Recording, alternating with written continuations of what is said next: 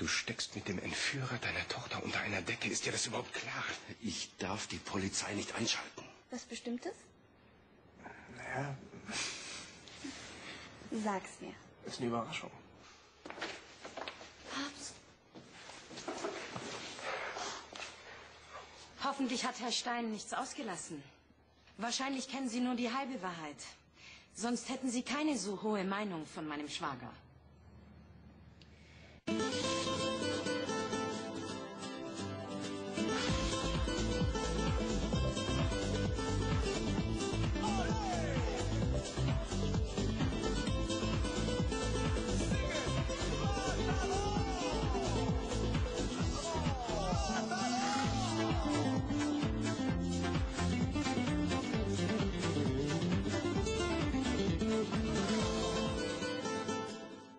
Sie haben mir nur die halbe Wahrheit über die Geiselnahme erzählt.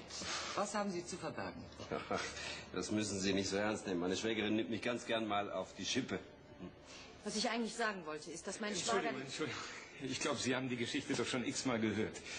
Wir müssen uns um die Gäste kümmern. Kommst du bitte? Ich werde mich dann mal langsam verabschieden. Ich bin ziemlich müde. Gut, dann will ich Sie auch nicht länger aufhalten. Danke für das Gespräch. Danke ebenfalls, Frau Geiger. Wiedersehen. Na, meine beiden Helden. Kommt doch mal die nächsten Tage zu mir ins Büro. Ich denke, ich muss mich ein bisschen erkenntlich zeigen bei euch. Hm? Und komm bloß nicht auf die Idee, die beiden mit einer Yachtmütze abzuspeisen. Ne, wieso? Kriegt jeder seine eigene. Wir werden darauf zurückkommen. Tschüss. Danke mal.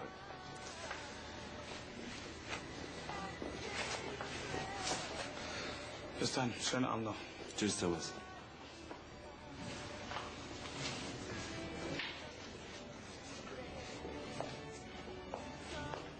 Ne? Sind aber auch nicht in Feierlaune, die beiden Helden. Steckt ihnen wahrscheinlich alles noch in den Knochen. Ja. Ich gehe mal zu Volker und Christine.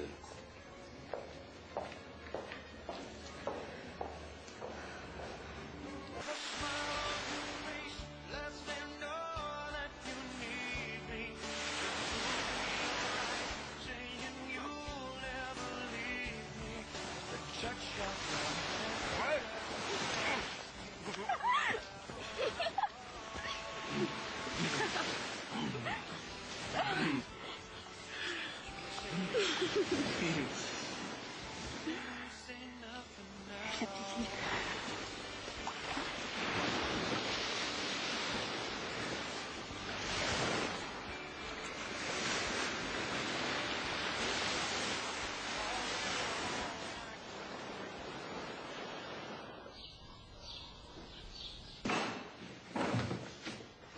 Ist noch Kaffee da? Ja. Ich muss gleich zum Hafen. Der Motor von Antonios Boot ist wieder kaputt.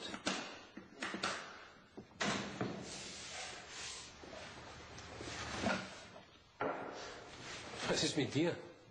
Schlecht geschlafen? Ja, das auch. Und blöd geträumt. Wie blöd. Von Julia mal wieder. Wir waren angeln.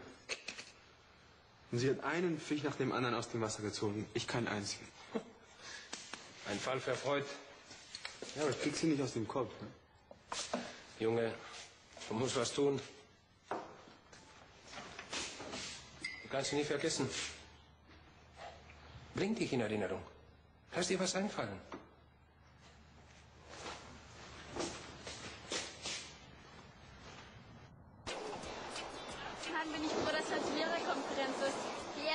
Stunden haben mir voll gereicht. Das kannst du laut sagen. Wo warst du gestern bei der Geiselparty von deinem Onkel?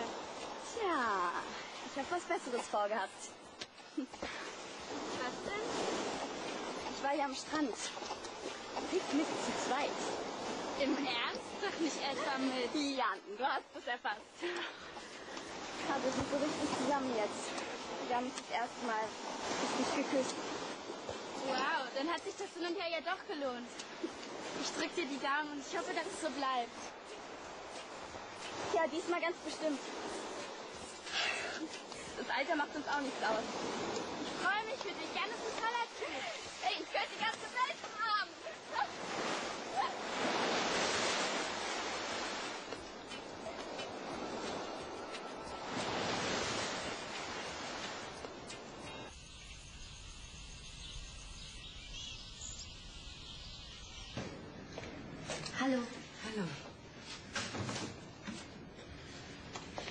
Geht's dir besser?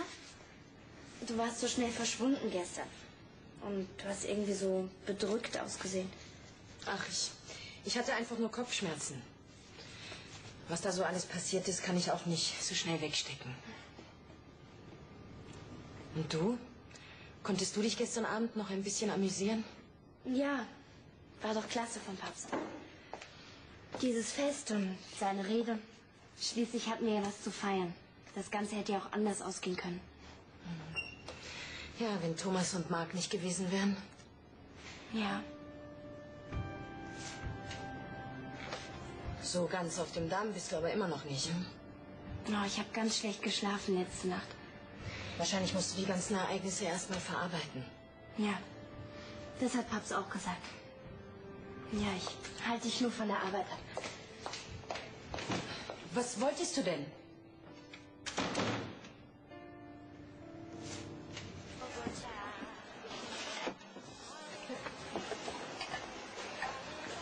Hier, der Drink für echte Männer.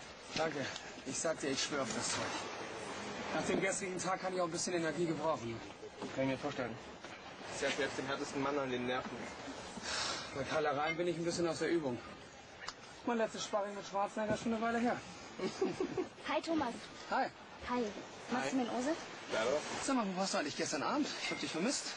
Ja, null Bock auf so viele Leute. Ah, gib's doch zu. Du hast heimlich einen kleinen Freund, ne? Und der dich gestern Abend ein bisschen getröstet. Eine Frau hat ihre Geheimnisse. Das solltest du eigentlich wissen. Ich muss los. Wir sehen uns. Die hat's echt drauf, die Kleine. Süß und frech. Noch ein paar Jahre und die ist echt reif. Nur leider ist sie jetzt noch viel zu jung.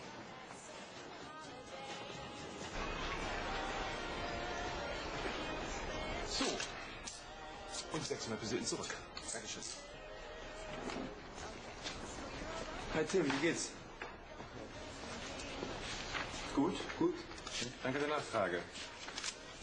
Du hast doch noch einen Job in St. Bend, oder? Ist das nicht sehr stressig hier? Das schaffe ich schon. Was kann ich für dich tun? Nichts Besonderes. Ich war nur in der Gegend und wollte vorbeischauen. Hat sich Julia schon gemeldet? Sie ist doch gerade erst weg. Also noch kein Anruf. Nein. Warum? Kannst du mir ihre Adresse in Deutschland geben?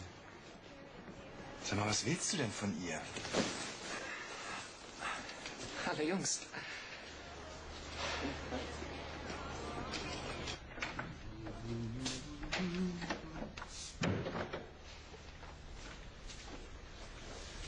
Ihre Bestellung, Madame. Würdest du dir das bitte angewöhnen? Ja? Ich finde es nämlich klasse, von dir persönlich bedient zu werden. Solange ich auch was davon habe. Sag mal, hast du eigentlich mitbekommen, was sich Christine gestern wieder geleistet hat? Sie war kurz davor, diesem Journalisten die Sache mit Hauser zu stecken. Wieso sollte sie das tun? Wahrscheinlich weiß sie nicht richtig tickt die Kuh. Gott sei Dank hat Volker die Situation gerettet. Das verstehe ich nicht. Sie weiß doch genau, was sie damit kaputt macht. Sie denkt, ich hätte euer Leben aufs Spiel gesetzt, um meinen Kopf aus der Schlinge zu ziehen und die Sache mit Hauser zu vertuschen. Ach, das ist doch Blödsinn. Es war genau richtig, die Polizei nicht einzuschalten. Wer weiß, was die mit uns gemacht hätten. Das sehe ich genauso. Aber Christine ist total sauer. Hab sie in der letzten Zeit nicht gerade mit Samthandschuhen angefasst. Und dann die Geiselnahme, keiner sagte Bescheid. Und jetzt macht sie dich verantwortlich für alles. Scheint so. Sie denkt, ich bin ein rücksichtsloser Egoist, der über Leichen geht, sogar über die Leichen seiner eigenen Familie. ist doch absurd. Hey, das ist der erste Schock. Wie beruhigt sich schon wieder, hm? Hoffen wir es. Wenn Christina auspackt, habe ich ein echtes Problem.